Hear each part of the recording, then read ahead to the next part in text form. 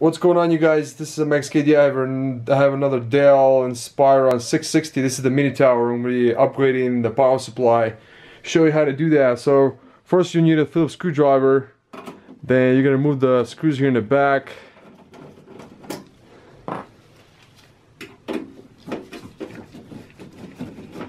And you're going to slide the side cover panel to the left. And the power supply in here is pretty good. It's got a 300 watt, but I'm just gonna upgrade it. And we're gonna do remove the four pin power right here. We're gonna disconnect the SATA power right here from the optical drive. And from the hard drive, or if you have a solid state drive, disconnect that one.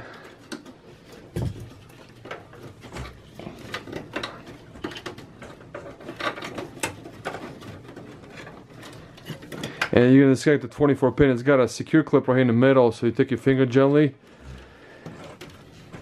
This should come out like this. Same with the 4 pin right here. It's got a secure clip you have to press on to release.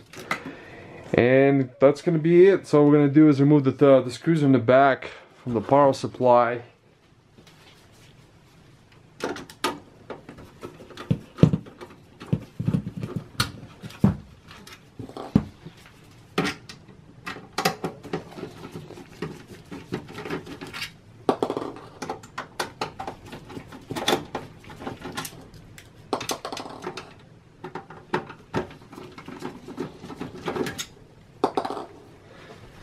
Now there's a clip, what you're gonna do is you're gonna press on the clip right here, press it down and your power supply will slide to the right.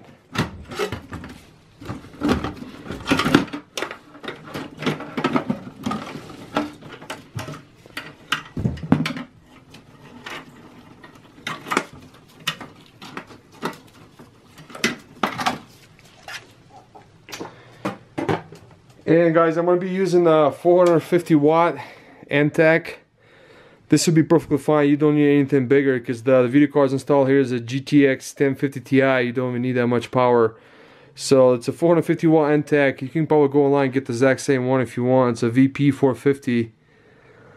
And they have other better ones. You can just go with the Seasonic if you want to go with the Corsair. They got a...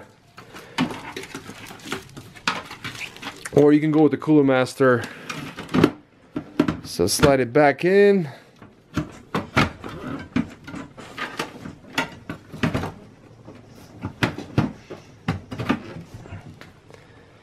Now you're to connect back the 24 pin.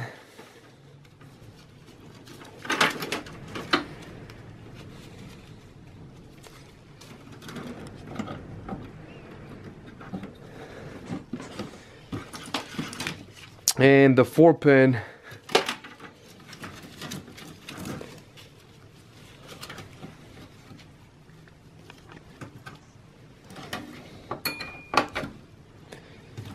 and you're going to connect uh, the power to the optical drive.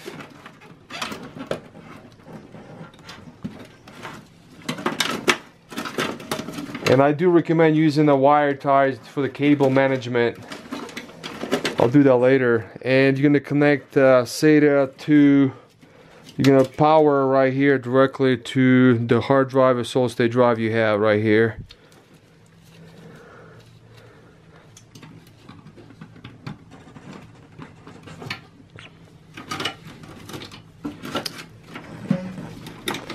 this does have a six pin power. If your video card does take and it does have an, uh, just only one six pin power. This for the video card.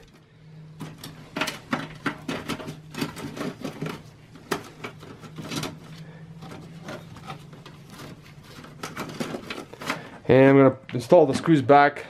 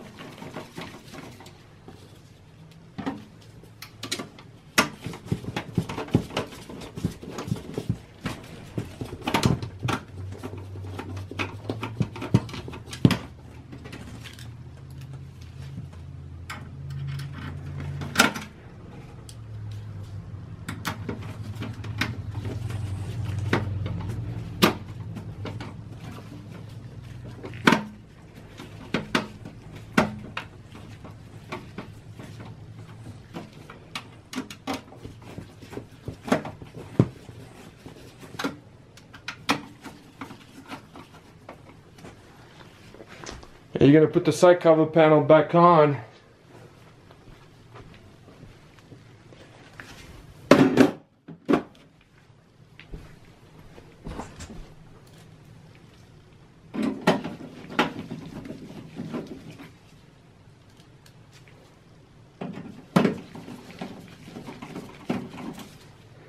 And I'm going to show you guys the back side. So this is how it's going to look like when you install the the new power supply. So guys, this will be the end of the video. Thanks for watching. Bye.